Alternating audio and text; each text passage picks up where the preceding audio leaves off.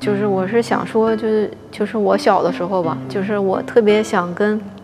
打球的小朋友的家长说，像在我打球的时候，我觉得受到一些鼓励特别关键。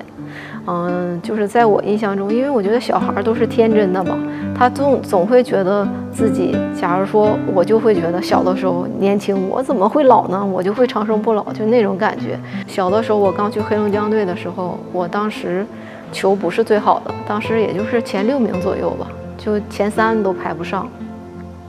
但是当时我就无意中听见我们主教练说一句，就说啊，车小西以后就是是两个人，其中说了两个人，说是我有发展的其中一个人。